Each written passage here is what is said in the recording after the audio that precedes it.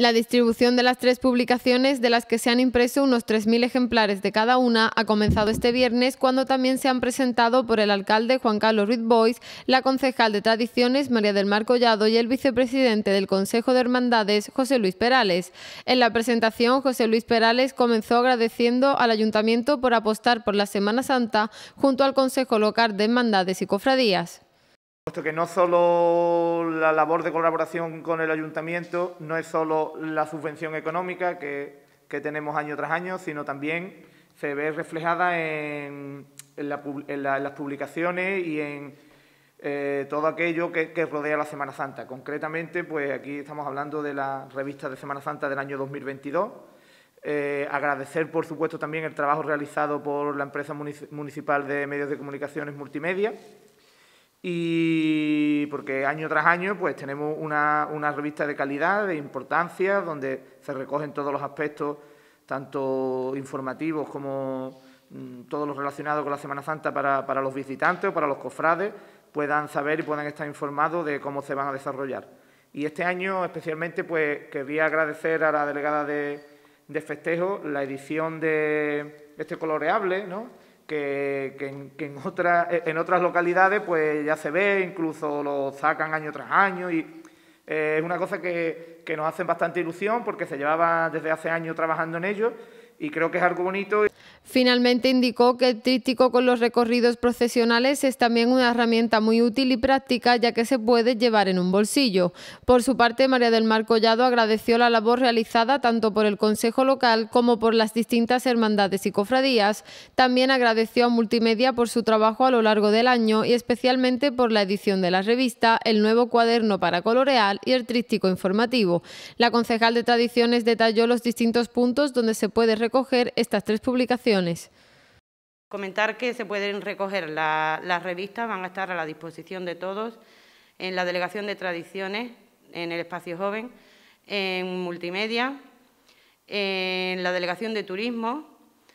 y también el Consejo Local de Hermandades distribuirá entre las hermandades eh, algunos volúmenes de, esta revista a demanda de las hermandades.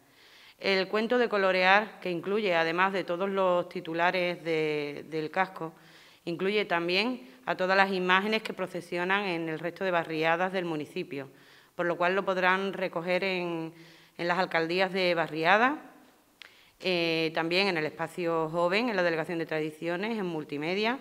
y en la Delegación de Turismo. Así también se les darán algunos ejemplares al Consejo por si a lo largo de los días de fiesta de Semana Santa algún pequeño se hubiera quedado sin él, pues que también puedan recogerlo en las diferentes hermandades.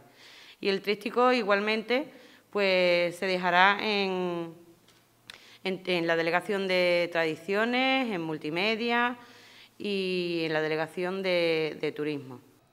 finalizó deseando buen tiempo para disfrutar de la Semana Santa sanroqueña. Por su parte, el alcalde de San Roque, Juan Carlos Ruiz Bois, comenzó recordando que en 2022, tras un paréntesis de dos años, se retoman las procesiones existiendo el debate sobre el uso de mascarillas por parte de los asistentes, recomendado por las autoridades sanitarias, pero no obligatorias en estos momentos. En cuanto a la revista de Semana Santa 2022, apuntó que en la portada aparece reflejado el Cristo yacente, titular de la hermandad del Santo Entierro y recalcó que la publicación ha sido elaborada por la empresa municipal multimedia con la participación del Consejo Local de Hermandades y Cofradías y de numerosas personas. En este sentido, agradeció especialmente a los autores de las distintas fotografías que ilustran la revista. Aunque el alcalde desea que sigan las lluvias unos días más para que puedan evitarse las restricciones por sequía, espera que cesen antes del viernes 8 para que se pueda disfrutar en todo su esplendor del trabajo de las cofradías